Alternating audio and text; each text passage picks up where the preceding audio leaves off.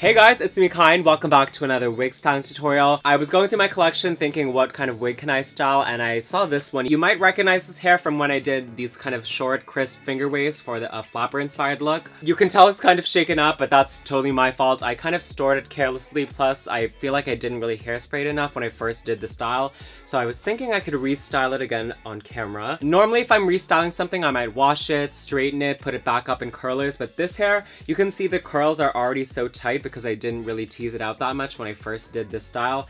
Plus it's really soft because of me not using enough hairspray on it. Since it's so short, it doesn't really get that many knots and tangles in it, so it's almost kind of like I just took this down from the curlers yesterday. So it has a lot of potential to be restyled, and we're gonna see what we can do with it. So the first thing I'm gonna do, by the way, I already blocked it down. I always get questions on what this is. It's just a piece of ribbon to kind of keep it sturdy to the base. And I'm just going to section this hair off, and I'm also going to keep this same part that I had in it last time because I like the side part. And we're going to tease this hair up, which we didn't do last time.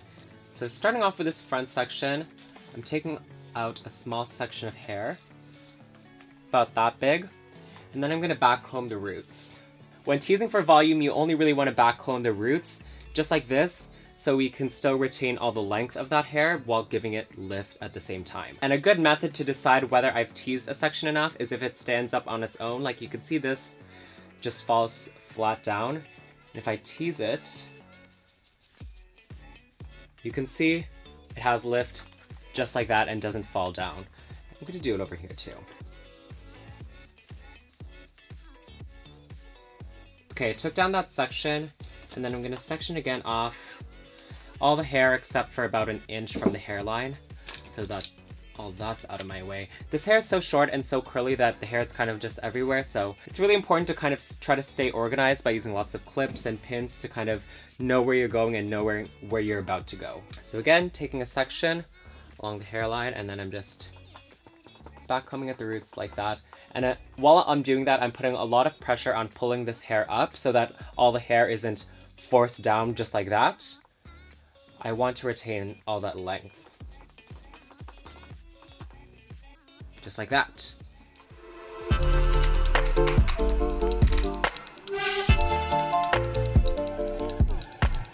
Okay, so this is just the hair along the hairline, all teased up, looks sort of gross. Now I'm just gonna do the same thing going all the way to the back of the hair. You wanna tease up all the hair, that way it's big from all angles. You don't want to just tease the hairline. I know sometimes it's easy to be lazy and think, oh, all the people are gonna see is just the front. I've definitely fell to that mentality, but it's good to have big hair that's going all the way around.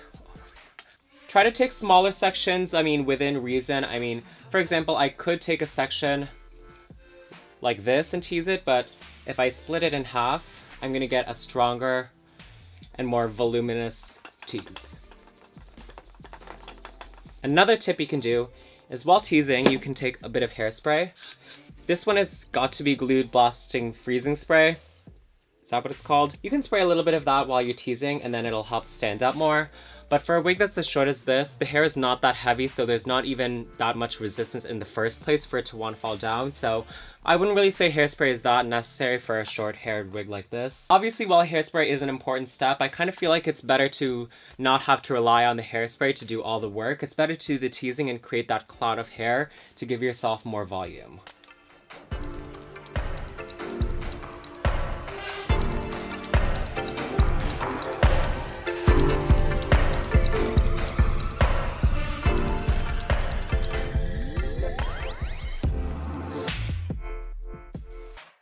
Know how monkeys like pick through each other's fur looking for like bugs and stuff to eat?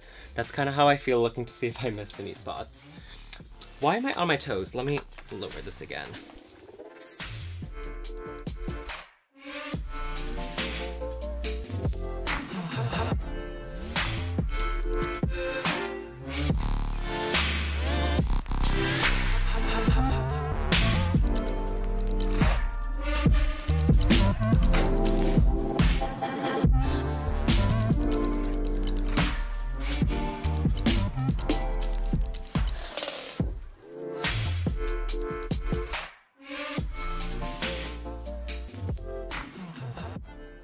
Now what I'm gonna do is brush it out, but I really don't want to lose all of this volume. I really want it to stay as big as it is. So I'm gonna brush it out really softly. Um, so starting at this part, brushing it that way and then this way. And when you brush it softly, basically all you're trying to do is just get at the surface and not touch the cloud of teasing that's underneath. So you can see the hair is almost just magically transforming into this beautiful Pantene commercial hair. And the reason why is because we only tease at the roots. So most of the strand of hair still looks beautiful and normal. So that's what we're exposing and bringing to the surface while all the teased roots are in the body of the hair. Okay, so I'm kind of brushing this down, but I'm realizing that from the front, it looks kind of flat now at the top. So what I'm gonna do is I'm just gonna use maybe a little bit of hairspray and then kind of push it up, zhuzh it up like that. And that's how it's gonna look really full from the front angle.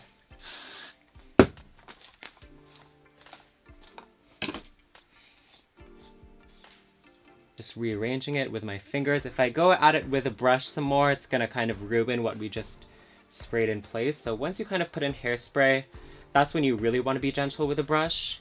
Again, with the front, I really want it to stand up and give that nice swoopy bang. So I'm gonna keep it up with hairspray, then brush it back. With my fingers, all of this is teasing and just a cloud of hair. What I really have control over is how the tips are gonna sit. And I want them to kind of swoop down like that. That's pretty, isn't it? I can spread out this hair like that. On this side of the part, I also want it to kind of stick out, so spraying that with a bit of hairspray. And then kind of guiding the ends with my hands.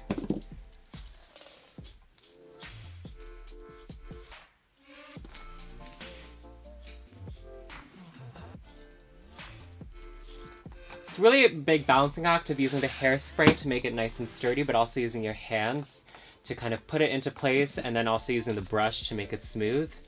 So just alternate between the three, but be a little bit wary of using hairspray because once you kind of use too much, it's hard to go back. So I just go in with little spritzes of it here and there, and then adjust it with my hands as I go. To get this kind of swoopy bang, what I'm gonna do is I'm gonna hold the hair right here where I want it to bend, and then I'm just gonna brush down the top half. It's a really good idea to kind of hold the hair to get a kind of anchor when you're brushing. That way you're not moving the entire head of hair and you're just brushing out the section that you want to brush. So brushing that part down. Seal it in with a little bit of hairspray and then the end of that I want to go back out that way. So again, holding right there to get that anchor.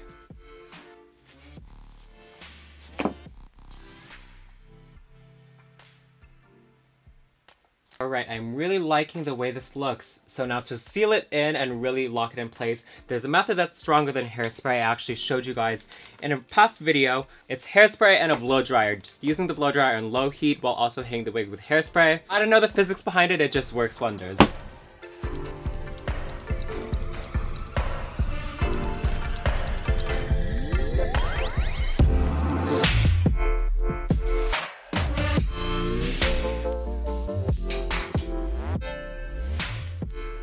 Alright guys, this is a finished wig. I say this all the time in all my videos, but I'm always so surprised when I style a wig and it doesn't turn out super shitty. It was a really, really easy style to do actually. I didn't have to use many clips or pins or like geometric configurations. It's all just about using the hairspray and the blow dryer to make the hair go the way you want it to, and then teasing it really nice and full so that it has lots of body and it will kind of shift to the way you place it. I don't know if it's because I have a lot more experience now or if it's because this wig is so short that it was so easy to style.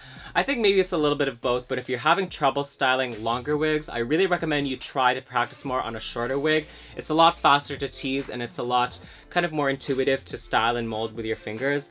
Longer hair wigs can be harder because they're more heavy and it kind of pulls the hair down, while shorter wigs, it's very easy to get lots of volume and height out of them. This is totally not sponsored by the way, but I'm really surprised by how well this hairspray works. I picked it up because I saw it in a couple of other wig styling tutorials for drag queen wigs, and I decided to see what the fuss was about when I ran out of my other hairspray, and I actually really liked it. I didn't have to use that much of this. This is from Got2b Glued. I hate the name, but it works really well. Anyway, I hope you guys learned something cool from this video. If you have any questions, be sure to put them down in the comments. I always try to get back to them. Let me know what other hairstyles you want to see me try out. I'm always open to new ideas. Some of them I try and then I fail and I don't want to do a tutorial because I only want to do a tutorial if it ends up looking good. Just give it some time and I'll get better at it with practice. I kind of feel like every time I style a wig, it gets better and better. So it really is all about experience and not everything I can just show you through a camera. You have to have some sort of practice. When I first started wearing wigs, I was too afraid to even brush through it. I was like, oh my god, it's gonna pull out the fibers, it's gonna stretch the hairs, it's gonna take out the factory curl and never look the same again, which to some extent is true, but you're never gonna have practice if you don't keep on trying to style your wigs and then just start over and then do it again. I really appreciate seeing your guys' recreations of my videos and hearing your thoughts, so be sure to leave them in the comments and subscribe to my channel and give this video a thumbs up if you liked it, and I'll see you guys in the next one. Bye!